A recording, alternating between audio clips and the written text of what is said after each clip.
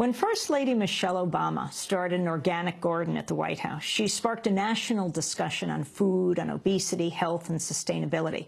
But the green action on the White House lawn hasn't made it to the White House roof, unfortunately. Last week, the Obama White House rejected a proposal to reinstall the solar panels that President Jimmy Carter placed on the White House roof in the 70s. The panels were taken down by President Reagan and have been used since then at uh, Unity College in Maine. But here in Bonn, Germany, the answer couldn't be clearer. Use stimulus money and policy to jumpstart a green job sector to help create, for example, solar panel manufacturing, installation and servicing. As reported in the Financial Times, German photovoltaic cell installations last year amounted to more than one half of those in the world. Here in Bonn, Germany this week are representatives of the Bangladeshi organization Grameen Shakti, which makes loans and offers technical assistance to allow poor rural people to install solar power in their homes in Bangladesh, often granting access to electricity for the first time in their family's history. They've helped install more than 110,000 systems, often with a woman hired to maintain the system uh, creating jobs, empowering women, and raising the standard of living. We turn now to Deepal Barua who we spoke to here at the Right Livelihood Award gathering. He's the founder of the Bright Green Energy Foundation. My name is Deepal Barua from Bangladesh. I'm uh, the founder and chairman of Bright Green Energy Foundation. Before that, I'm organizing Grameen Shakti, Build Grameen Shakti, and deputy managing director and co-founder of the Grameen Bank. Basically, we are doing solar energy in Bangladesh. You know, Bangladesh, around 150 million people living in Bangladesh. 60% people have no electricity, and only 40% people are enjoying electricity from the grid line. In that calculation, around 85 million people have no electricity. So we decided to introduce a solar energy in Bangladesh in 1996. Under my leadership, uh, we built a solar home system program, financing, installation, and maintenance. So far, in Bangladesh altogether we install 500,000 system and almost 5 million people are getting benefit out of this. But I have a target for 7.5 million system, 10 people in one system, so 75 million people will be benefiting from the solar energy within a couple of years. How do they use the solar panels, the yeah. photovoltaic cells? Yeah. Uh, so solar is very suitable for us. They use for many lighting, education, lighting for household work, and extension of working hours, business hours, and most of them are running a television, black and white, and the mobile phone. The three main, one for lighting, mobile phone charging, and the television. These are very attractive. So many people are basically for television and mobile phone charging apart from the light. Mm. And how does this fit in with your past working at the Grameen Bank? How do you see it as related? Uh, remember, your audience who's listening to or watching or reading this right now, they may not have even heard of the Grameen Bank. Yeah, actually, the Grameen Shakti I built from 1996, but Grameen Bank started from my own village in 76. I was uh, born and brought up in the village. So uh, actually Grameen Shakti is not related to Grameen Bank. We created a solar home system product, 10 varieties, 10 watt, 20 watt, 30 watt, 40 watt, 50 watt, 65, 75, 85, 100, 110 like this, 20. But we arrange also financing. We give the system on credit, only they pay 10 to 15 percent down payment, remaining they are pay monthly installment, saving money from kerosene. Deepal Barua, your Bright Green Energy Foundation, why is that so important for Bangladesh? Can you talk about the issue of global warming? I think the Bangladesh is very important. You know, globally, uh, all scientists agreed that in Poznan, in Copenhagen, any all places, all international conference on the climate change, global warming, Bangladesh is the number one victim of global warming. Though we are not creating cause for global warming, but we are victim of global warming. If one meter, two meter water rise, two-thirds of the country, one-third of the country, 50% of the country, there's a forecast will be underwater.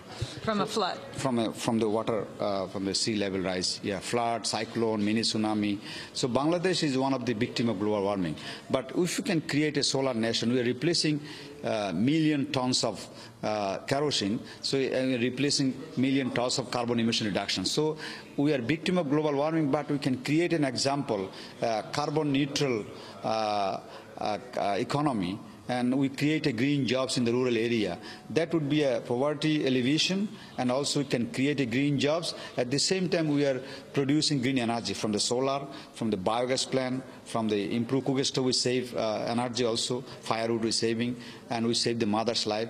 I believe uh, for renewable energy, solar energy, and we have a plenty of sunshine, 365 days, 340 days we have a sunshine, average 4.5, 5 uh, hours, 6 hours, 7 hours uh, sunshine is available. So this is plenty of sunshine. We have a plenty of human beings. We train them. They become human resources, and we are creating green jobs. At the same time, we have a uh, solar energy for lighting, for television, mobile phone charging, any business extension of business hour. I was wondering if you have a message for President Obama. Uh, in the United States, uh, Jimmy Carter, more than 30 years ago, put solar panels on the White House. When President Ronald Reagan came into office, he took those solar panels down. Now those same solar panels were brought back to the White House by an environmentalist named Bill McKibben and students at Unity College in Maine, and they asked President Obama to re-put them on the White House. The White House has said no. What is your response to that? Uh, if uh, I, am working with solar energy for last 14 years, I believe if uh, President Obama put solar panel in the White House. This is a moral boost, a psychological boost, and a green energy boost. In Bangladesh, our Prime Minister put solar energy in her office, and also Bangladesh Bank, Central Bank, they put solar energy in their Central Bank office in Bangladesh. I think uh, it would be a, not only for lighting, not only for energy, but it is a demonstration that you prefer renewable energy, you prefer green energy. This is a symbolic uh, attitude, symbolic uh, attempt. I think uh, he should put solar panel in the White House. This is a message for the environmentalists. This is a message for the green job. This is a message for the green energy in the whole world. Dipal Barua is the founder of the Bright Green Energy Foundation and a Right Livelihood laureate here in Bonn as we gather the 80 or so uh, winners of the Right Livelihood Award. A news conference was just held today with the mayor of Bonn. This is Democracy Now!, democracynow.org, the War and Peace Report. When we return, We'll find out what's happening in Thailand. Large anti-government protests are planned for Sunday. We'll speak with a Thai Right Livelihood laureate. Stay with us.